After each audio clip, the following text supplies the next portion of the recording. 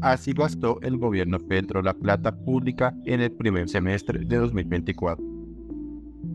Los sectores con mayor ejecución de la inversión fueron minas y energía, 41,1%, educación 39,4%, igualdad y equidad 32,9%, ciencia, tecnología e innovación 28,5% y salud y protección social 28,4%.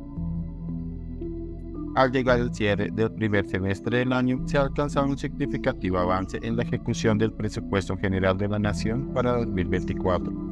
Así lo calificó el Ministerio de Hacienda. Según los datos más recientes, se ha comprometido el 47,4% de los recursos disponibles, que ascienden a un total de 503,2 billones de pesos. Este progreso representa una gestión eficiente de los recursos públicos en comparación con periodos anteriores, destacándose especialmente un aumento del 27,5% en la contratación de inversiones con respecto al mismo periodo del año pasado, detalló la cartera de Hacienda.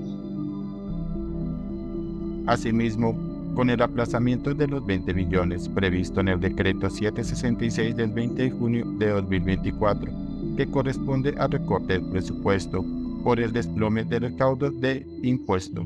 Los compromisos quedaron en 50,7% y las obligaciones en 38,5%. Del total de plata comprometida para invertir se usaron 191 billones, de la cual se pagó el 97%, 185,5 billones. Del total pagado, 39 millones correspondieron al servicio de la deuda, esto es 41,3% del total programado por este concepto para todo el año. De acuerdo con Hacienda, también se adquirieron compromisos contractuales sin deuda por 197,1 billones de pesos. Esto equivale a 19,4% más que el valor reportado en junio de 2023. Y gracias a la gestión contractual, dijo el ministro Ricardo Bonilla, se recibieron bienes y servicios por 149,5 billones, es decir, 36,6% del gasto sin deuda autorizado para todo el año. En cuanto a los pagos diferentes a deuda pública, estos ascendieron a 146,5 billones de pesos. En el reporte del ministerio se conoció que el gasto primario junio se sumó 149,5 billones, es decir, 36,6% de lo reportado para todo el año.